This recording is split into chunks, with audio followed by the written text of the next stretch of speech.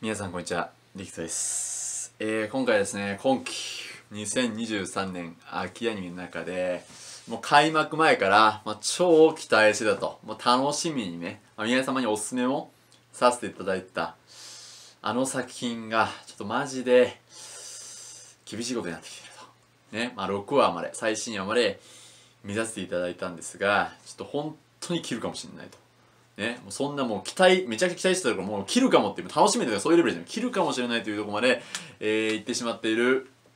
あの作品について語りたいと思います。まあ、今期はですね、ほんと見事に、もう陸とのジンクスと言わんばかりにですね、あの、酷評した、もう、ようやく我慢できずに、僕もね、すごいやっぱ、いろいろと反省をね、これまでも踏まえて、やっぱある程度もう、これはもう厳しいだろうとか、これはなーっていう、もうどうしても言いたいって時に、こうね、あの、まあ、批判動画というか、厳しい意見とかね、まあ、いう動画を撮るように、だから、まあ、ある程度はね、ちょっと、これはまだ言うの早いと思ったら、はやんないようにしてるんです、最近はね。最近っていうか、まあ、特に今期、まあ、前期ぐらいからですね。まあ、前期は特にそれで、まあ、本当手のひら返しみたいなもう全くなかったぐらいの感じだったんですが、まあ、今期はね、まあ、あの、も う本当びっくりするぐらいに、本当にこう、酷評して我慢ならんとね、もう見極めに見極めて酷評した次の回がもう神回みたいなのが来まくって、しかも、大体一緒なのが、その酷評、なんか厳しい意見を言ってたところが見事にここはもう克服してくるというか、そこが良くなるみたいな、本当にね、すごいことが起きてきた、もう陸との手のひら返しまくり、ん秋の手のひら返し祭りとかね、いろいろあって。いわゆる状況だった中で、一つだけなんかさ、全然手のひら返さないな、こいつみたいな作品あると思うんですよ。ね。まあ、皆さんね、お分かりだと思いますが、えー、今回、マジでやばいとね、えーなってる作品。それが、こちらでございます。豚のレバーは、加熱しろ、豚レバーでございます。見てますか？どうですか？まあね、序盤、1位、2話とかはね、まあ、やっぱ豚役、松岡義嗣さんですね、まあ、キリト役とか、まあめちゃくちゃうまいですね、ほんと超実力ある声優さん、まあ、後藤の悩み上杉とか、まあ、リゼロね、ペテルギウスとかも有名ですよね。うん、っていうことで本当もう七色というか、男性声優でも圧倒的に実力あると僕は思ってますけど、もうめちゃくちゃおもろかったんですね。その豚レバーその、豚の主人公、転生してしまった主人公の豚役と、ジェスちゃんってヒロイン、これ、楠木さんやって、まあ、楠木さんもね、ほんと今期大活躍クールなんですけども、その二人の掛け合いというか、その豚さんが面白すぎるみたいな、目がね、広がりソ童貞がめちゃくちゃ笑えるみたいな、あのー、感じのね、作品から始まって、で、まさかのね、なんか豚さんダンスとかも始まって、最初くどいかなと思ったら、ちょっとなんか 一周回っておもろいみたいな、僕はちょっとくどいと思ってましたけど、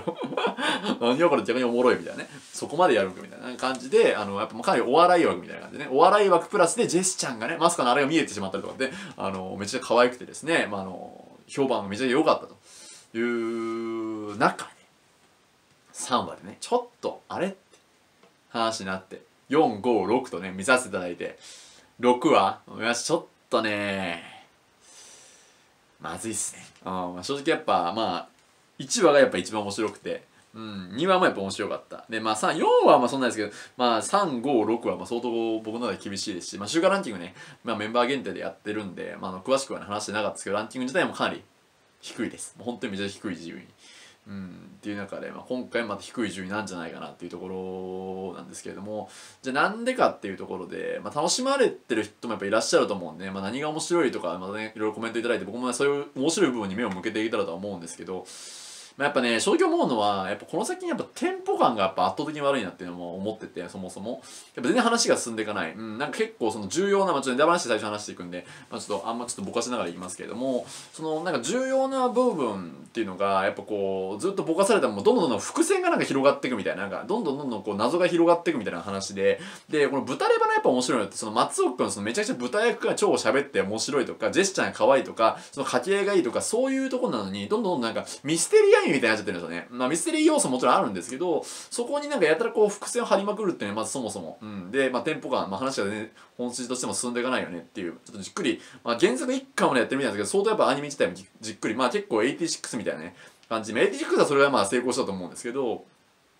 やっぱそこのテンポ感みたいなところがかなり、まあ、僕はそもそも気になってる。でその上でやっぱねギャグ要素がめちゃくちゃ減ってくるんですよね。本筋がシリアスなのは分かったんでいいんですけどやっぱりギャグが格段に減ってくる中でシリアスになってくるんですけどそのシリアスやるんだけど話が進まないっていうところで、まあ、よりやっぱ厳しさ。まあそのシリアスが別に面白いから何でもいいんですけどシリアスをやるんだとはもちろん言わないんですけどせっかくやっぱギャグとかそのジェスチャーの可愛いとかそこは強みまた新しいねセレスちゃんしあのヒロインとかも可愛いんですけどやっぱそこのなんか強みをどんどんどんどんなんか薄まってしまってる。要素として。うん、っていうのは僕はやっぱすごい感じてて。でまああとねなんかその新しい男キャラが出てくるんですけどこれがどうもねいやなんか、うん、まあ重要なのはわかるんですけどとかね。うんなんかその見ててやっぱこうあんまりこうねなんかどんどんどんどんどんどん多分正直ストレスが溜まる展開になってる、うんうん、厳しいことを言う厳しいというか、まあ、ぶっちゃけなことを言うとやっぱどんどんきストレスの溜まる展開になってきてて、うんまあ、シリアス要素も増してるし ちょっとなんかなんかうん？っていうキャラも出てくるしっていうところもあってうん。でまあやっぱそのテンポ感的にね、ちょっとまあワンクールでどこまで行くんかわからんですけど、そもそもの本筋と思うところに行かないですよね。正直その本筋だっていうところに、まあ、要するに、まあその王と、まあこの先にってその、まあ豚さんが人間になると、ジェスちゃんがその王都に行ってそのなんかね、や多分やばいことになるんで、その運命から救われるためって、多分王と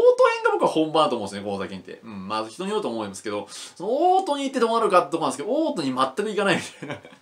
ちょっとそこがね、僕はずっと気になってるんですけど、本当にずっと行かないんですよね。うん。っていうとこもあるし、まあ、旅っていうとこでもやっぱ旅としてもあんま進んでいかないなっていう。まあ、じっくりやりすぎた弊害でもあるしやっぱこうギャグとまあやっぱ序盤ギャグでねやっぱこうあおもろいってなった人が多いと思うんでやっぱそこの要素が減ってることによって僕もねやっぱこうあんま楽しめてないなっていうのは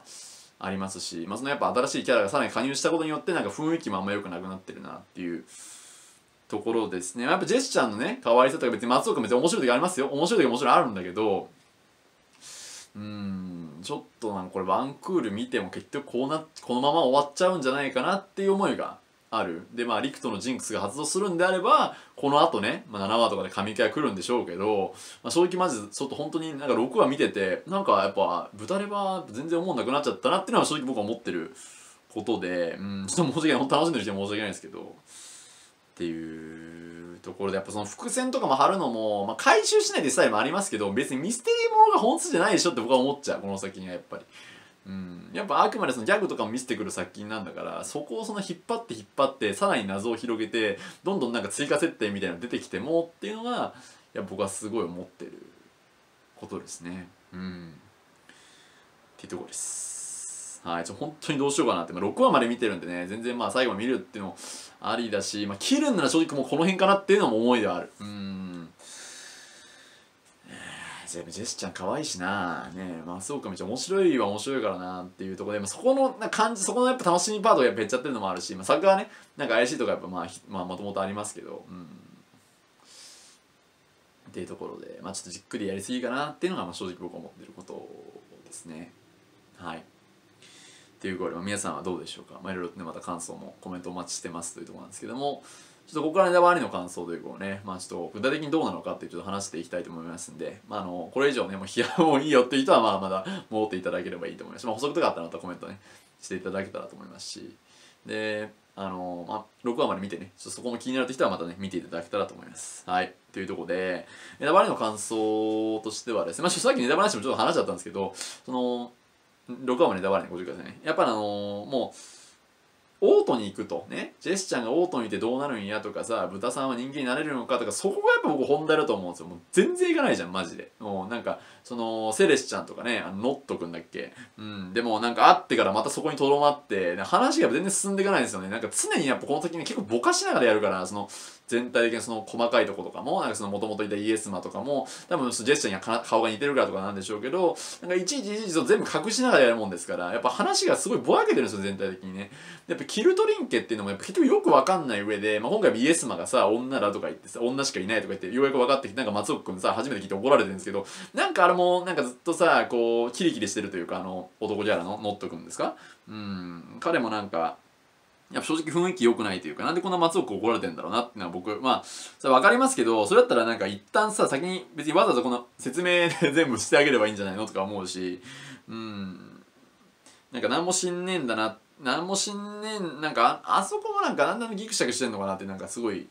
感じもありながら。うん。やっぱまあもともとね前回で、まあ、そのジェスちゃんとねあの豚さんの絡みが面白かったのに男キャラが加入して大丈夫なんか？これ相当やばいんじゃないかって言っててまあやっぱ思ったよりねそのジェスちゃんと豚さんの絡みだけの単体パートは結構あるんでそこは良かったなと思うんですけど、うん、やっぱ雰囲気が確実に悪くなってて彼もなんかもちろん重要キャラなのは間違いないんですけどやっぱそこは正直面白さに繋がってない、うん、やっぱ結局今回イエスマがなんで女だけなのかとかも分かんないじゃないですか。やっぱ伏線がどんどんどんどん広がってるだけかなっていう。のは思ってて、うん、やっぱ本筋っていうかその旅をやっぱしていかなきゃいけないはずオートに行くために。だから本当はイエス曲がりとか戦うはずなんですけどそこに全然行き着かないっていうのがやっぱすごい気になってることですね。やっぱまあじっくりやりすぎないと思うんですけどねやっぱり。うん。っていうところで、まあ、やっぱそのギャグも客団に減ってるっていうところもありますし。うん。まあ今回もねなんかそのお兄さんのくだりとかパンツ見ていいですよとかなんかあのまああそこは面白かったですけど。うん。まあ、全体的に見るとねやっぱりこうなんかセレシちゃんのところもなんかあそこもうんやっぱ多分シリアスすぎるんでしょうね全体的に。やっぱそもそも世界観がめちゃくちゃ重い中でうん。世界観がめちゃくちゃ面白い重いからこそね、まあ、ひたすら重くやるっていうのもありなんですけどこの先にそもそもギャグがそもそもある作品なんでそういう意味でそこをもっとうまくね生かせばいいんじゃないかなっていうのを思ったりうん。首輪の話を結構やっぱかなりね今回重要な回やったんですけど、まあ、ブタレバって思い返せばひたすらなんかこういう重要設定やってるんだけど結局わかんないみたいな声をずっとやっててうんなこれが最後こう回収された時にうわそういうことがおもれってなるのかっていうのは僕はすごい疑問に思ってることですね。うん、まあ、今回ノット君の思い出とかね。またいろいろ出てきたんですけどやっぱまあ彼がもっと魅力的に映ればいいんですけどなんかずっとなんかキリキリしてるキャラみたいなやっぱ印象はあって、うん、やっぱもっとそこはなんか魅力的に映るっていうかねもっと心を開くとかまあでなってくるのかもしれないですけどやっぱそこがやっぱすごい気になってるし、まあ、犬は まあちょっと面白かったけどね松尾君のところね。うんっていうところでまあなんかちょっとその説明のさせ方だからそのこの世界観とかの説明の仕方もだからイエスマが女の子しかいないとかさなんかその組はどっから出てきたか記憶がない状態。やばいですよねあれ。なんかその辺の設定はなんかあんな風に説明されるんじゃなくてもっとね普通に全然豚がねイエスあのねジェスチャーに聞くとかでも全然いいんじゃないかなっていうかなんかあそこでちょっと不快感を覚えさせながらなんか説明する僕は意味は正直よくわからなかった。うん。感じでしたね。うん。全然それだったらジェスチャーに説明普通にね豚さんが聞いてすればよかったんじゃないの？ってなんかわざわざあんな怒られながら。もうなんかそのノット君の印象あってよくなんないでしょあんな風にやったって。うん。っていうのは思ってて。まあ別に彼もさもちろんいろいろ覚悟あって今があるのは分かるんすけど。っていうのはあるしな。うん。ちょっとやっぱ彼の参入によってよりなんかねもともと大丈夫かってなんか、うん、結構シリアスに突っ込みすぎてでやっぱ話がね全体でやっぱキルトリンクでもよくわかんないじゃないですか結局。なんかもう言葉しか出てこないから。でセリフ量もまあすごい多くて、まあ、話としてもやっぱこう、まあ、会話劇みたいな感じになっちゃってる。うん。っていうところでちょっとねなんかそのやっぱ本当オートに行くまでになんかいろいろありすぎな中で今回なんか今はもうなんかそのいろいろすらなんかないというか 説明で終わっちゃってるみたいな。まあ結構アニメとして難しいかもしれないそもそもアニメにやるのがね難しいタイプだとは思いますそのバトルシーンとかガンガンメインとかじゃないし。でかといってミステリーでもないじゃないですか。なんかそのなんかジャンル的になんかアニメに落とし込むのは難しいのかなとは思いますけれども。うん。ちょっとやっぱりなんか今ねこう感想を話してるとあ意外とここはいいとこがあるとかなる時あるんですけどちょっとねやっぱりうんいろいろ考えてみても、うん、やっぱあの男キャラが相当多分邪魔なんと思うんですよね。僕僕は特にそう思う、うん、で、うん、セレスちゃんもなんかかわいそうだし豚さん豚さんなんかひどくない？なんかあれあんなところ告白させてなんかひどいなと思って。うん。っていうところでなんかちょっとねバランスどんどん悪くなってきてるなって印象をですね。ちょっとマジで一旦切った方がいいかもしれないしちょっとまあこれは原作ファンの人はね展開知ってると思うんでちょっとどうなのかっていうとこで あのここで切るは切るのは絶対ダメだ。まあ多分ダメだと思う。普通に考えたらダメなんだけどそれ伏線何も回収もして回収した上でさつまんないとかあったらそれ切る切るべきなんだけどそ回収しないと切るべきじゃないと思うんだけど。はい。まあちょっとねまた皆さんまたコメントというか感想をいただけたらと思いますしうん。まあどうなんだろうね、まあ、僕みたいに多分感じてる人ももちろんいると思うんですよね。うん。っていうところで、まあ、ちょっと豚レバーそういうかなりねすいません批判意見ばっかりになっちゃったんですけどはいまあ、そんなちょっとねもともとハマってたし開幕前開幕前ランキング2位ですからこれ。楽しみにしただけにちょっとねあれっていうのがすごい思いとしてうん。強いなっていうところで、まあ、手の裏返しとかね期待した人には申し訳ないですけど、まあ、このジンクスが発動するんなら次のぐらいで神回来るんでしょうけど、まあ、神回来る雰囲気を出してるわけでもないんでね。うん。多分、ワンクール見てどうかっていう感じだと思うんですよね。多分1巻、原作1巻分ぐらいやるのかな。だから、ワンクール見て判断ぐらいの多分アニメになってくるとは思うんですけど、うん。ちょっとなっていうね。まあ、あの、ところでございました。はい。まあ、ちょっと豚レバね。ちょっとまあちょっとひとまず次回見るつもりですけど、ちょっともうこれ、もうこの時点ダメなら切った方がいいとかさ、あると思うんですよね。絶対ワンクール見ないと。ワンクール見て評価するタイプだと思うんで、うん、そこは見ようかなと思ってるんですけどね。ちょっともう正直多分今聞いていただいて分かる通り、僕もちょっと不満が溜まりまくってるので、うん。ちょっと正直ちょっとストレスがかかるですね、これに関して。やっぱその雰囲気が良くないんで、今とか。うん。っていうところで、まあ、ちょっとね、はい。まあ、ずっとで、3話でも話が動かないって言って、また6話でもずっとそんなこと言ってるわけですから、そういう意味ではね、ちょっとやっぱ、テンポ感っていう話はほんと進んでないですね。うん。で、さらに謎も増えるって、まあ、気になりはしますけどね、もちろんね。うん。で、どっから来たんだろうとかね。気になるはきするんですけど。はい。という感じで、えー、今回ね、ちょっと豚レバ、すいません、なんかお通夜みたいな動画になっちゃいましたが、えー、6話まで見た正直する感想、以上となります。今週ありがとうございました。ちょっとね、まあ、あの皆さんまたいろいろとコメント、感想ね、またお待ちしてますし、まあちょっとね、まあ、もし切るんだったら切るでまあ動画上げるかなと思いますけど、ちょっと今回で切るんだったら多分動画また上げないんで、うん、またまあ同じような、同じ批判をするだけなんでね、うん、ちょっと、まあちょっと考えた上で、まあおそらくワンクール見ようかなって、やっぱ見て判断のタイプかなとは思いますけど、はい。っていう感じで、ちょっとかなり、まあ、正直渋くなってきてしまっていると、めちゃ厳しい感想を抱いているということでございました。はい。またね、引き続き、まあ、今期ね、もちろん面白いという感想、まあ、批判意見もしかしたらあるかもしれない。まあ、今期基本的にめちゃくちゃ面白いんだからこそね、ちょっと厳しさが目立つっていうのもあるんでしょうけど、はい、感想を、まあ、引き続きいろいろまた、